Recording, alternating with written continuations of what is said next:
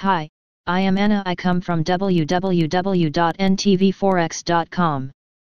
Forex News NTV Forex USD JPY price analysis The descending wedge formation on the hourly chart has been tested to the downside. http www.ntvforex.com News ID B2F781 2010 GMT. By Rajan Dhall, MSTA.USD JPY has fallen 0.07% in a lackluster session on Thursday. The pair has tested the bottom of the wedge formation but moved higher. USD 1 Japanese yen hour chart. USD JPY has not been too volatile on Thursday as the pair has traded in a 34 pip range.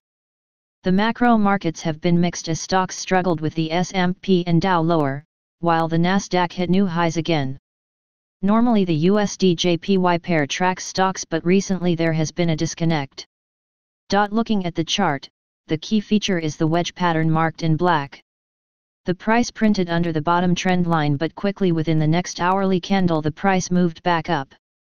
The blue trend line just above 107.00 could be the target for the bears but we would need some momentum and it's hard to see that at the moment. The indicators are also pretty mixed. The relative strength index has dipped under the 50 level and is looking bearish. The MACD histogram however is in the green. The signal lines are still under the midpoint which could still give blues hope. Additional levels. USDJPY. Overview. Today last price point 107.19. Today daily change 0.07. Today daily change percent 0.07. Today daily open point 107.26.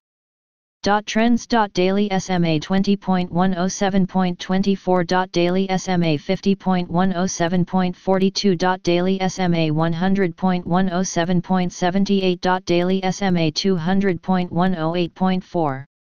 Dot levels. Dot previous daily high point 107.71. Dot previous daily low point 107.2. Dot previous weekly high point 108.16. Dot previous weekly low point 107.04. Dot previous monthly high point 109.85. Dot previous monthly low point 106.08. Dot daily Fibonacci 38.2% point 107.4. Dot daily Fibonacci 61.8% point 107.52. Dot daily daily pivot point S 1.107.07. Daily pivot point S 2.106.88. Daily pivot point S 3.106.56. Daily pivot point R 1.107.58. Daily pivot point R 2.107.9. Daily pivot point R 3.108.09.